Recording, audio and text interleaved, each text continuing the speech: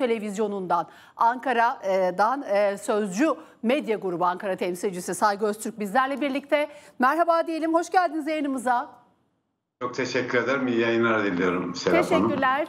Ee, çok önemli bir gündem. Aslında uzun süredir bekliyorduk. Normalleşmenin ardından Bahçeli'nin yaptığı açıklama AKP ile ittifak yapabilir Cumhuriyet Halk Partisi. Biz bariyersek çekilebiliriz, aradan fedakarlık yaparız açıklaması. Acaba çatır diyor mu anlamına e, cümlelerine sebep olmuştu. Neler söyleyeceksin Saygı Öztürk? Şöyle söyleyelim yaklaşık 2015 tarihinden bu yana gerek işte AKP ve MHP'nin birlikte hareket ettiği bir yerde bir Cumhur İttifakı'nın koalisyonlarının e, oluşturan partiler olduğunu hatırlatmak isteriz. Şimdi iki siyasi partinin birbirinden ayrılma durumu e, hemen hemen e, imkansız gibi görünüyor. Çünkü iki siyasi partinin de birbirine ihtiyacı var, birbirine muhtaç ve bunda da daha çok şunu ifade etmemiz gerekir ki daha çok AKP'nin ihtiyacı olduğunu ifade etmemiz gerekir. Çünkü MHP'siz e, şu ana kadar yol alamadığı veya MHP olmadan ilerleyemediği ortada. Neden? E, çünkü bir Türkiye Büyük Millet Meclisi'nde bir ortağın olabilmesi için öncelikle şunu e, vurgulamak lazım. Biraz sayısal yönden önemli olması lazım. MHP'nin şu andaki milletvekili sayısı 57 e, civarında milletvekili olduğunu hatırlatalım. sıkça gündeme getirilen bir konu var biliyorsunuz Serap Hanım. Ağırlıklı olarak işte anayasada köklü bir takım değişiklikler yapılması. Bu değişikliğin yapılabilmesi için en azından 366 360 milletvekilinin e, oylaması da gerekiyor, oy vermesi gerekiyor. Dolayısıyla MHP'siz bir e, olay şu andaki şey, mevcut duruma göre mümkün değil. Aslına bakarsanız MHP'nin de olması yetmiyor. Diğer siyasi partilerinden de mutlaka desteğe ihtiyacı olduğunu da hatırlatmış olalım. Şu anda bir de e, şu an koalisyonun dağılmasını gerektirecek bir durumda söz konusu. Bu arada Saygı Öztürk e, bir virgül koyalım bir merhaba diyelim. Doçent Doktor Berke sen de bizlerle birlikte siyaset bilimci hoş geldiniz yayınımıza. Merhabalar iyi yayınlar. Teşekkürler. E, birazdan tekrar tabii ki Berke sene döneceğiz ama Saygı Öztürk'le başlamış olduk. Buyurun devam edin. Evet, sonuçta baktığımız zaman şu andaki böyle bir birlikteliğin devam edeceğinin zaten işaretleri var. Bugünkü görüşmenin bir olağanüstü bir durum, e, olağanüstü bir e, görüşme olmadığını ifade edelim. Her ay genelde mutat olarak yapılan görüşmelerden birisi. Şu anda bildiğiniz gibi dün MHP Genel Başkanı'nın e, bir sağlık problemi yaşadığı görüldü Türkiye Büyük Millet Meclisi'nde konuşmasından sonra. Hemen onun arkasından yani şu anda bu ziyaretin gerçekleşmesi, birlikte e, birlikte olunması ve ziyaretin gerçekleşmesi de e, Devlet Bey'in sağlık probleminin önemli bir durum olmadığının işareti olarak değerlendirilebilir. Hatta bu sağlık konusu ve böyle görüşmelerin e, MHP ile e, AKP genel başkanları arasında sıkça yapılması da e, Cumhur İttifakı'nın bırakın dağılmasını daha da güçlü hale getirdiğini görebiliriz diye bakıyorum ben. Peki, peki. Aynı soruyu Saygı Öztürk'e yönelteyim. Gör, e, görüşmenin normal olduğunu söyledi Saygı Öztürk ama sanki Cumhurbaşkanı Erdoğan bir şey bekledi de e, biraz daha normalleşme ya da yumuşama tam tabir de belli değil. E, biraz daha o süreci e, karşılık biraz daha sakin davrandı, sakin kaldı sanki bugüne kadar. Şöyle Serap Hanım, şimdi tabii Türkiye'nin bazı sıkıntıları var. Yargı ile ilgili, özellikle yargı ile ilgili sıkıntılı var. E, tabii ki ekonomi durumu ile ekonomideki gelişmeler de alabildiğine sancılı. Şimdi ülkeye yatırım yapılması gerekiyor. Dışta, dışarıdan Türkiye'ye bazı para transferlerinin gerçekleşmesi mutlaka ihtiyaç haline geldiği ortadadır.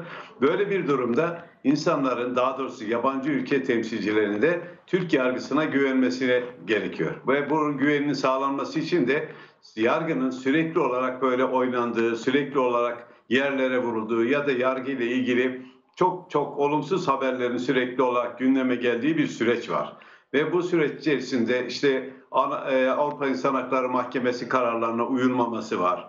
E, işte ayın 1 Temmuz'da başlayacak olan Sinan, e, rahmetli Sinan Ateş'le ilgili gelişmeler, bu gelişmelerle ilgili şu anda itibaren hatta günlerdir bununla ilgili gerilim süreci, yaşanan olaylar, işte MHP'nin farklı açıklamalar, CHP'nin farklı açıklamalar yapması, işte bilmem e, CHP'lilerin işte e, toplantının şey e, mahkemenin duruşma salonuna alınmayacağına ilişkin bir takım iddialar ister istemez bir gerilim kaynağı ve ister istemez de e, Avrupa İnsan Hakları Mahkemesi dahil diğer Avrupa ülkelerinde ülkemizdeki gelişmeleri yakından izlemelerine neden oluyor.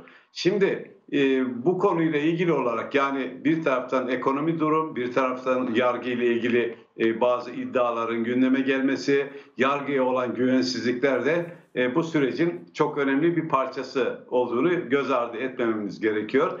Eğer e, normalleşme e, kısa mı sürdü diye soruyorsanız, e, şimdi zaten CHP ile e, İYİ CHP ile e, AKP arasındaki zaten normalleşmenin olacağı çok beklenen bir şey değildi. Normalleşen ne var şu ana kadar yani baktığınız zaman yıllar önce 2000 ilk kez 2002 yılında işte e, CHP e, gitmiş e, o, o dönemin e, e, partinin genel başkanı konumunda olan e, genel başkanı konumunda olan e, Erdoğan'ı ziyaret etmiş, onun önünü açmış. Yani eğer normalleşmeye bakarsanız, aslına bakarsanız 2002 yılında CHP'yi aslında bu normalleşmeyi o dönem başlatmıştı. Ancak günümüze kadar geldiğimiz zaman normalleşecek de çok bir şey yok. Liderlerin yine birbirlerine ağır üsluplu her zaman devam eden bir durum. E şimdi yalnız onunla değil, diğer e, partilerin e, yetkilileri yetkili konumunda olan kişilerin yaptığı açıklamalar arasında da geçmişe bakarak böyle bir arada işte buzların eritildiği veya karşılıklı olarak hakaretten azaldığı bir dönem de e, şu anda yaşanmıyor. Şu anda so- söylem şu gü- güzel. E, işte normalleşme. Yani Türkiye'nin normalleşmeyi gerektirecek aslına bakarsanız neden normalleşmesin ki ülke? Yani Zaten bugün liderlerin bir Cumhurbaşkanı araya- Erdoğan grup toplantısında normalleşmesi gereken muhalefet dedi. Bizim normalleşecek bir şeyimiz yok. Ee, Aynen muhalefetin öyle. Doğru, normalleşmesi öyle. gerektiğinin altını çizdi. Ve e, bu zaten- noktada Cumhur İttifakı'na bu kadar sahip çıktığını gördük bugün. Şimdi onu o anlamda ben de onu vurgulamaya çalışıyorum. Yani baktığınız zaman böyle normalleşecek bir şey yok. Yani çünkü iki tarafta kendisini haklı görüyor. İki tarafta kendilerinin yaptıklarının normal adımlar olduğunu, yapması gerekenlerin e, bunlar olduğunu ifade ediyor. Ancak görüyoruz ki Cumhurbaşkanımız ne diyor? E, biz zaten normaliz, karşı taraf normalleşmesi gerekiyor. E, şimdi karşı tarafa yani e, CHP cephesine sorarsanız onlar yönünde de onlar da kendilerini gayet işte normal işte e, bir muhalefet partisinin izleyeceği e, yol, strateji kendilerini zaten izlediğini ifade ediyor.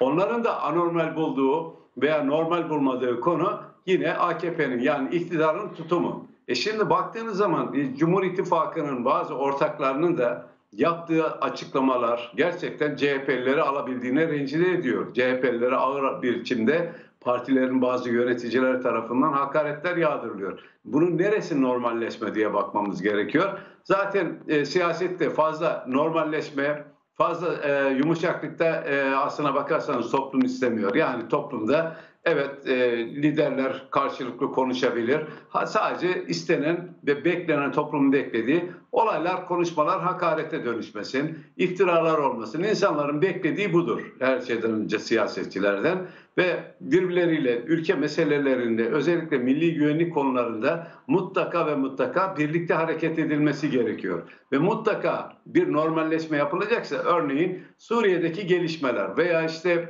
e, Kuzey Irak'taki gelişmeler bunlar konuşulacağı zaman mutlaka e, muhalefetin de bilgilendirilmesi gerekiyor. Son dönemlerde bazı bildiğiniz gibi bakanlıklar arasında bazı görüşmeler yapıldı. Bu görüşmelerde de şunu ifade etmemiz gerekir. CHP'nin söyle, e, görüşmeye katılan yetkililerinin bugüne kadar kamuoyuna açıkladıklarından farklı bir şey zaten açıklamıyorlar. Yani bunların Türkiye'de olayların perde arkasında çok bir şey kalmıyor.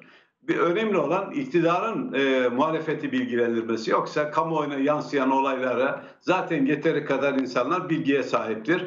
O yüzden e, iktidara düşen kamuoyu e, iktidara düşen ağırlıklı olarak e, muhalefet partilerini özellikle milli güvenlikle ilgili konularda mutlaka bildirilmesine çok ihtiyaç var ve e, dolayısıyla e, şu andaki gelişmelere baktığınız zaman bir e, normalleşme süreci yani fazla bir şey bu normalleşme sözcük belki farklı bir şey e, farklı belki algılamalara ya da çok beklentilere yol açıyor ama çok beklenti yaratacak bir e, ifade olmadığını daha doğrusu uygulamaların olmadığını da belirtmek gerekir diye ekliyorum ben. Peki.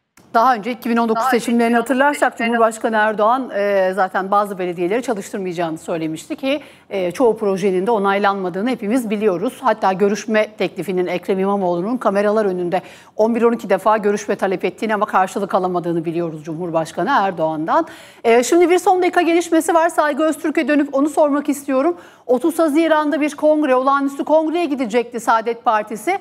Temel Karamollaoğlu Genel Başkan e, ha- sağlık sebebiyle, sağlık sorunları sebebiyle devam etmeyeceğini söylemişti genel başkan olarak. İşte partinin gösterdiği bir isim vardı, bir olay dün çıktı dedi ki ben de adayım. E, kongre Kasım ayına ertelendi. Bir aday kriz ertelemesi olarak geçiyor arkadaşlar. Nedir detayları? Neden böyle bir erteleme kararı alındı?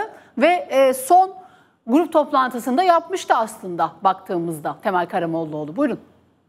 Evet bildiğiniz gibi Temel Karamollaoğlu da seçimlerde istediği başarıyı elde edemedi. Ama şunu söyleyelim ki e, Millet İttifakı'nın e, oluşturan altı siyasi parti içerisinde en dik duran, e, çalışmalara alabildiğine destek veren, hatta e, baktığınız zaman milli görüş geleneğinden olmasına rağmen yani CHP ile aşağı yukarı aynı yolda görüşler ifade eden bir siyasi partiydi. Dolayısıyla gerek e, Kemal Bey'in gerekse e, Sayın Karamollaoğlu'nun e, Kılıçdaroğlu'na karşı da inanılmaz bir karşılıklı güvenleri de vardı. Ve e, bu e, Millet İttifakı'nın dağılması veya seçim sonrasında birlikte artık hareket edemez noktaya gelmesinde de yine Karamollaoğlu'nun alabildiğini, üzgün olduğunu da ifade edelim. Şimdi seçimlerde istenilen başarılı e, elde edilemeyince zaman zaman siyasette dalgalanmalar, yer değiştirmeler olur. Temel Karamollaoğlu da partisinden genel başkanlığı bırakma gerekçe olarak da sağlık durumlarını gösterdi. Oysa e, Temel Bey'in öyle sağlığında